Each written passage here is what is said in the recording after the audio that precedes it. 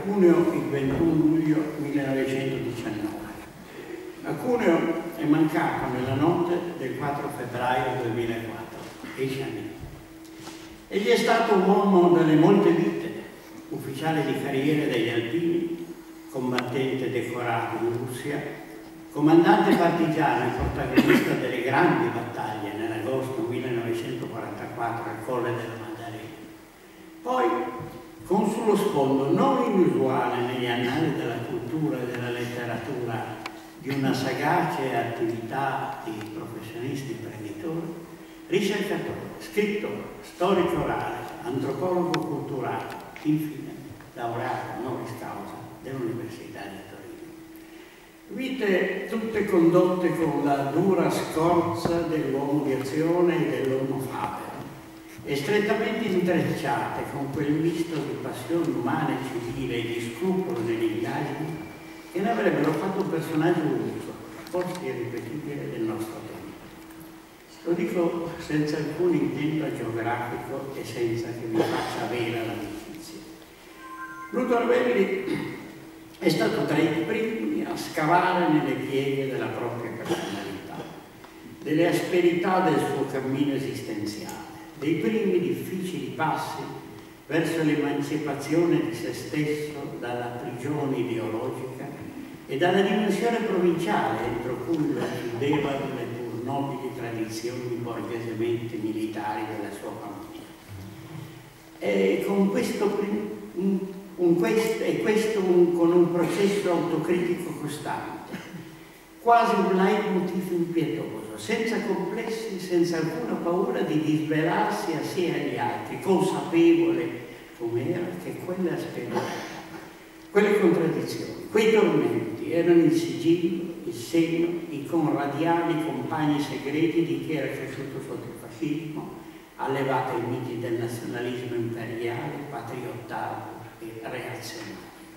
da cui occorreva liberarsi, non esorcizzandoli o nascondendoli, ma affrontandoli viso aperto, riconquistando sul campo con una sorta di catarsi la propria dignità di cittadino, con tutti i rischi, anche personali, che ciò comportava. Sappiamo bene che il catalizzatore, il detonatore, furono per Nuto Revelli la Russia, il dono, il macello dell'Arbia, ultimo e sanguinoso atto della Götterdämmerung. La guerra, con i suoi abissi di impreparazione, pressapochismo, bieca retorica e cieca violenza, con le migliaia di soldati morti, dispersi, congelati, nelle piante di stelle della storia. La guerra, i cui disastri furono per lui, come per tutti della sua generazione, paragone sorte spontaneo con Mario Rigoni Stella, il punto di sdono, il crocevia della lunga marcia dentro il fascismo che l'avrebbe portato verso consapevoli orizzonti di lotta e di liberazione.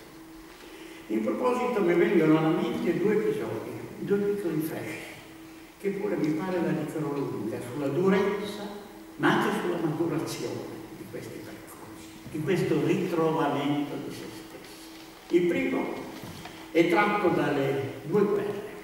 l'ultima fatica dei Revelli, forse la più scarna e non di meno così forte ed evocativa del pacato fluire del discorso. In quel suo rivolgersi senza veli ma anche senza reticenze o concessione ai lettori più giovani così importante per me. Capire, voglio capire, è sempre stato il chiodo fisso di tutto. Ebbene,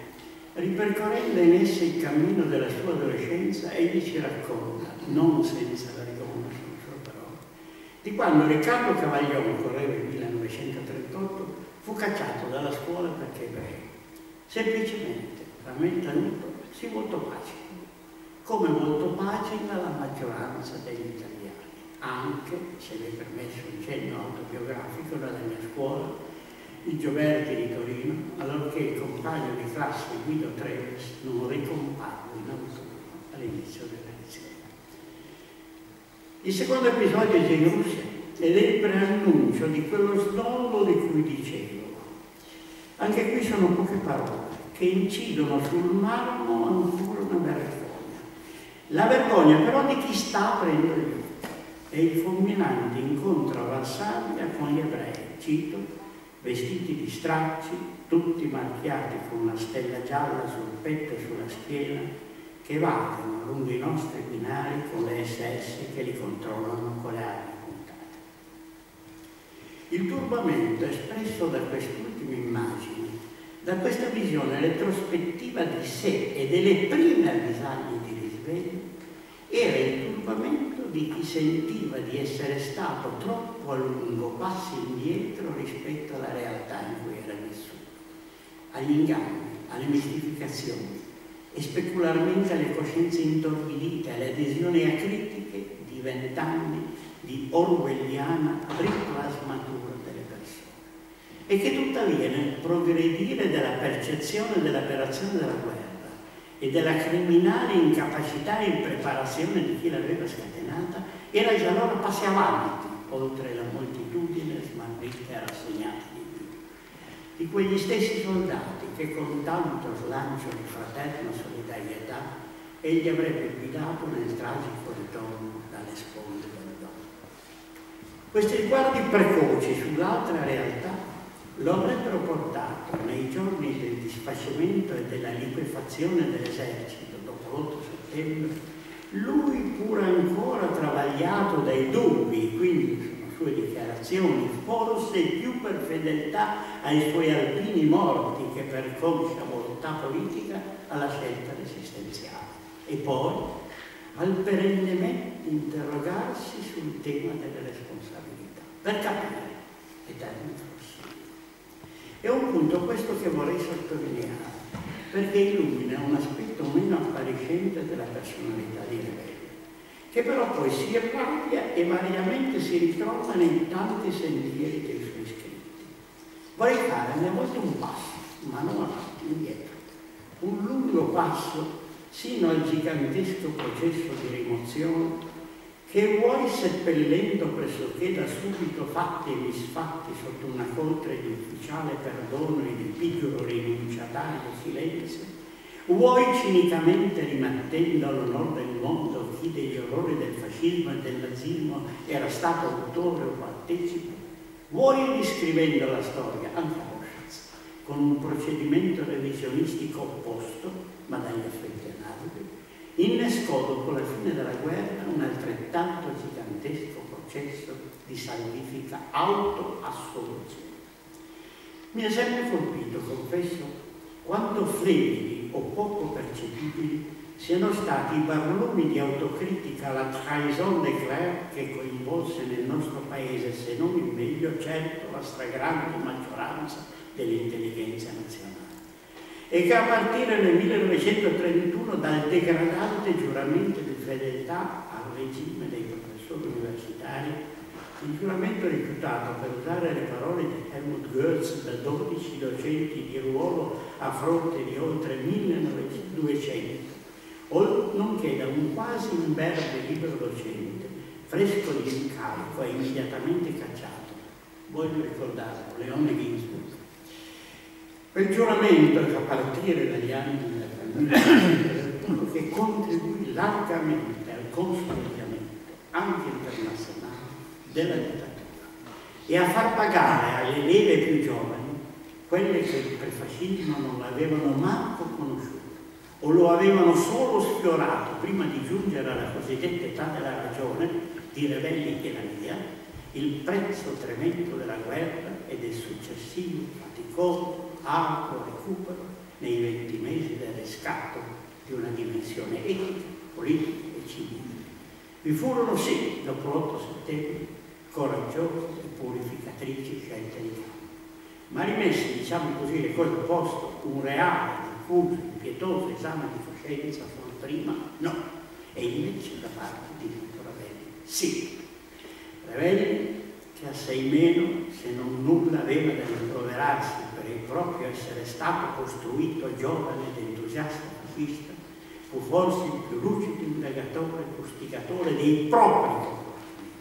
in una sorta di processo al proprio passato a se stesso, di cui mi fa di sentire poi la risonanza e gli echi nel mondo umile, rispettoso, quasi autocolpevolizzantasi con cui si sarebbe affacciato verso il mondo degli ultimi.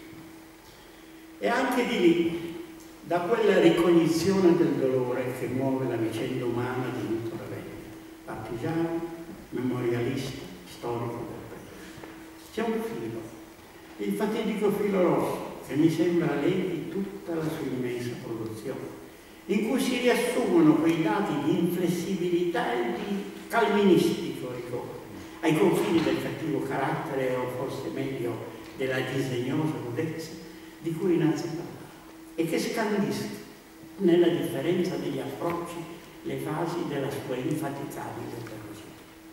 L'onestà morale ed intellettuale, sempre, dicevo, vigilmente autocritica. Il certosino scrupolo della ricerca, ossessivo nella raccolta delle testimonianze, degli indizi della scoperta dell'identità dei personaggi. La capacità di dar voce a coloro che non l'hanno e di rovesciare luoghi comuni, di sacrare miti e portare in primo luogo, in primo piano alla luce la società vera, autentica, alternativa a quella dei lustrini e delle fanfare. Si tratta delle donne dell'anello forte, dei caduti dell'ultimo fronte, dei partigiani di Paralupe o Valestura. E ancora, la pietas, la tenerezza, il rispetto, l'approccio in punta di piedi attraverso i preziosi canali dei mediatori a questa umanità dimenticata e indifesa e nel contempo la voglia, quasi l'ansia di indagare l'uno fermissimo sostenitore delle proprie nelle ragioni degli ad interrogarsi sui quesiti e dubbi esterni. Che è il nemico? Chi era il disperso in mano? A schierarsi dalla parte dei giusti, anche se e forse anche per questo tanto diversi da Milano, prete giusto. Da questi capisaldi Nuto Ravelli non ha mai deflettuto, a costo di essere impopolare, al limite ostico e sgradevole, come del resto sono ostici e sgradevoli in un'epoca sfrangiatamente opaca e apote quale l'attuale, tutti coloro che Ravelli in prima linea non fanno sconti né ai tentativi di barare sulla storia che stravolge nel senso delle conquiste, né, riecco Govetti, ai voltagabbana di tutte le risi, molti in volo nei cupi crepuscoli di questo terzo millennio. È grande l'affresco della guerra e della resistenza, ma è tardi la guerra dei poveri, l'ultimo fronte, la strada di Damasco. Quelle voci giovani, scrive mi dicevano cose troppo importanti, molto più importanti delle avventure di guerra e dei fatti d'armi. Così ho deciso di non soffocare, di ascoltarne altre, altre voci, sempre di contadini, donne e uomini di cui la grande storia tace e che pure, come a scrivere Saramago, fanno la storia.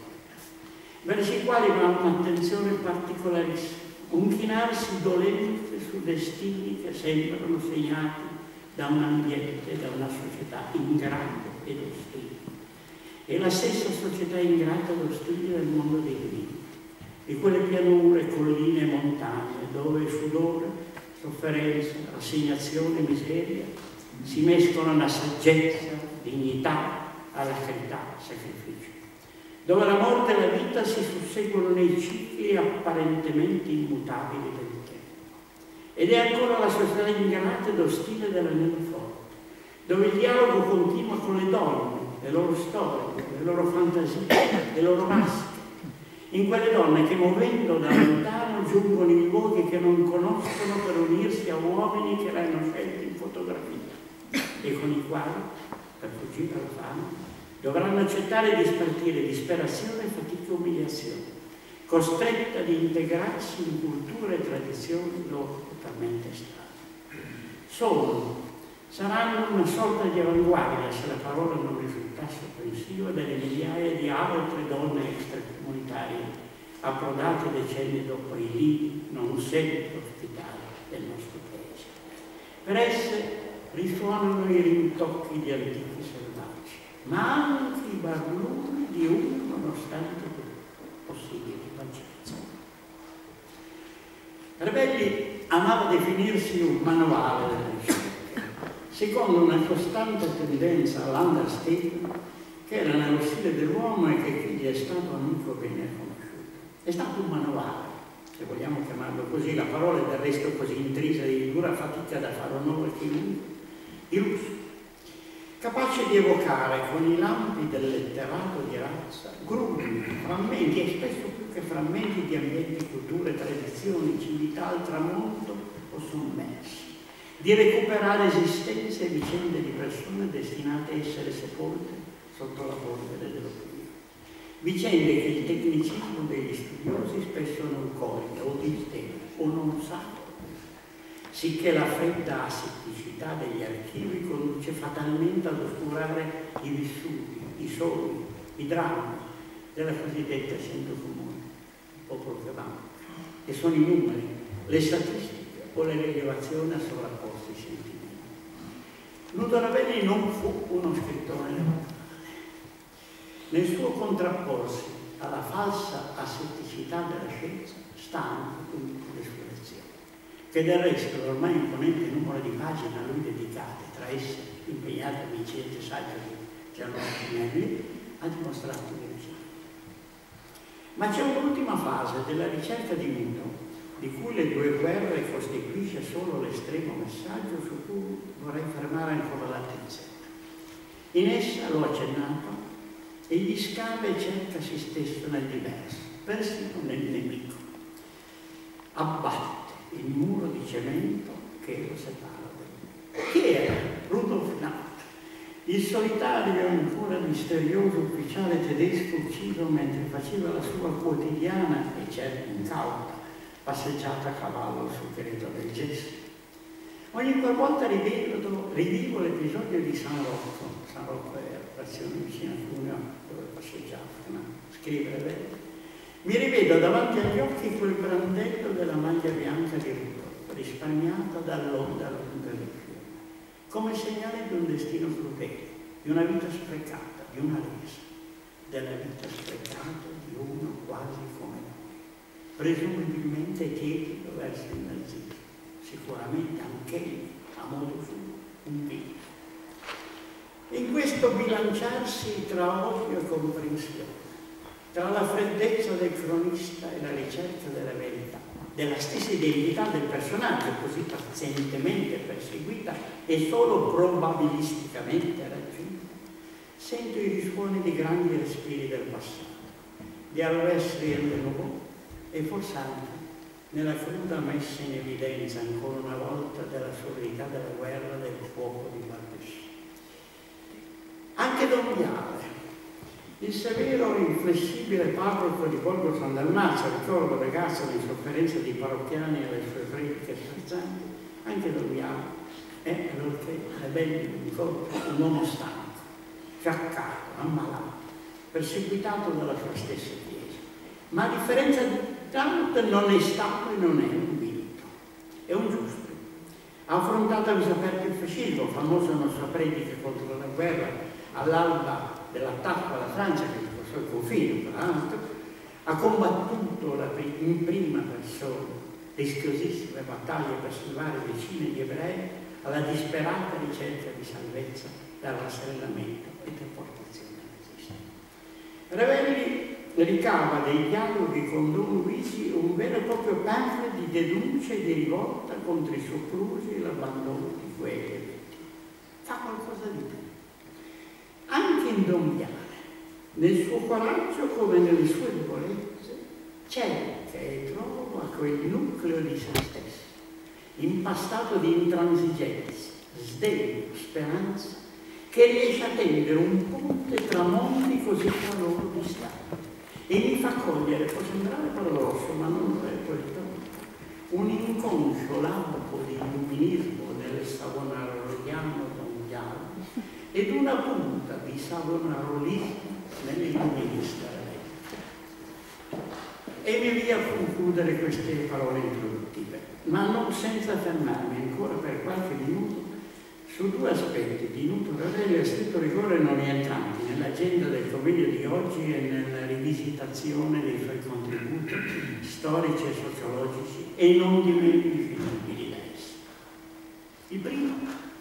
e il ruolo, spesso misconosciuto ed avversato perché terribilmente scomodo, che egli nella sua cunea, sua, sempre, nonostante il lento insonnolito sprofondare della città per lunghi decenni entro laurea mediocritas del torpore clericale piccolo borghese, esercitò con l'inflessibile rivendicazione del primato della politica, come gli aveva per primo insegnato il freddo di una baita di Paralupo un maestro di eccezione quale Dante Livio Bianco, e dei diritti civili, politici e sociali conquistati con la resistenza ed espressi nella Costituzione. Il ruolo di sveglia dei dormienti dal sonno e dell'avvistamento dei pericoli che da queste fonti potevano derivare. Naturalmente refrattario alle celebrazioni e ai riti nostalgici e reducistici, mai realmente incasellabile entro una sigla partitica, Ravelli fu in prima fila, avanti ancora che si profilasse nel 1960 l'operazione Tambroni, nel denunciare trame golpiste e ritorni fascisti, nel cogliere il persistere e rafforzarsi dentro le intalaiature dello Stato e le coscienze intorpidite di molti costanti reazionari e regressivi. Nello smascherare la strumentalizzazione in chiave revisionistica e riabilitatrice delle vicende più sanguinose, anche le meno notili della guerra mussoliniana e della deturpazione della memoria, insidiosamente ricorrenti in molta memorialistica post Sarebbe stato, con preveggente in tutto, acuto avvistatore del degrado da metà anni 90 del Novecento del nostro costume etico, civile e sociale. In questa sua quasi solitaria sfida ai venti della restaurazione del revanchismo, egli affrontò scontri durissimi che il suo non conciliante carattere e il suo dir nudo e crudo ai propri antagonisti, quel che pensava di loro, tendevano spesso a radicalizzare fu oggetto di becere denigrazione e anche sotto la falsa apparenza, con il pretesto dell'indagine storica di squallide insinuazioni, che umiliando in un certo per lui, ma per chi le diffondeva, lo ferirono le proposte. Come lo ferirono le conclusioni della commissione chiamata a far luce sulla strada a Leopoli di 2000 soldati italiani da parte dei tedeschi che contro la documentata relazione di minoranza di Mario Ricolisterno, di Lucio Ceva e sua, sotterrarono nel nulla ogni traccia di responsabilità. E tuttavia egli seppe conservare fino all'ultimo la calma e l'equilibrio dei corpi. Egli aveva una formidabile arma di riserva, il culto dell'amicizia, dell'amicizia vera, collaudata e rassodata al calore degli idem sentire e del comune operario con chi aveva condiviso ideali, lotte e sacrifici. Ancora sono nella memoria di molti, credo, non sbiaditi dall'impietoso correre delle stagioni, gli incontri a Verduno, dove Revelli e la sua impareggiabile Anna trascorrevano la prima parte del periodo estivo. A Villa Bianco Valdieri, dove nello straordinario clima distensivo e talora anche festaiolo propiziato da Alberto e Alba, impagabili padroni di casa, era normale incrociato con Ravelli e con i compagni partigiani cunesi, Norberto Bobbio o Alessandro Galante Gagone,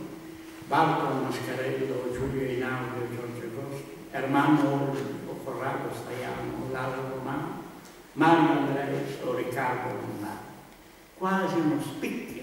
per dirla con Fabio così, di antistoria d'Italia. E infine, sull'imbrunire della vita, negli anni dolorosi e dolenti del lutto e del distacco, i pellegrinaggi del piccolo gruppo di superstiti dai capelli grigi, nel minuscolo bar di Piazza Europa, nel quale, quasi appollaiato al fondo di uno stretto cubicolo, tra sedie e tavolini scomodi e disadorni, Don Toravelli tessé nel tardo pomeriggio di ogni giorno la sua ultima tela. Ravelli, solo muto perché gli è stato vicino, non cercava il palcoscenico. Ma quando gli si dava l'occasione ed egli non si ritraeva, era un affascinante affabulatura, Credo ancora lamentino le sue lezioni di studenti che nel 1981 su invito di Aldo Cavazzani avevano affollato le aule dell'Università di Calabria e nel 1986 su invito di Giorgio Rochant, primo migliore del suo ultimo libro, quelli dell'Università di Calabria. Ed ecco l'immagine di lui, allungato su un sofà della mia casa di Borgo San Dalmazzo, l'immancabile sigaretta accesa in bocca, a rievocare con la sua tipica parlata lenta, misurata, o solenne, uomo, donne, uomini, sofferenze e magia del rispettare la vita, o ad indulgere alle battute pungenti nei confronti dei potentati di provincia, degli eterni nipotini di un potere che inossidabilimente aveva sfidato l'ultimo dei fringuelli, come amava chiamare e con queste immagini che desidero, me lo consentono le solenni architravi di questa nostra accademia, rendi il mio, il nostro, di tanti che non sono affettuosi e riconoscenti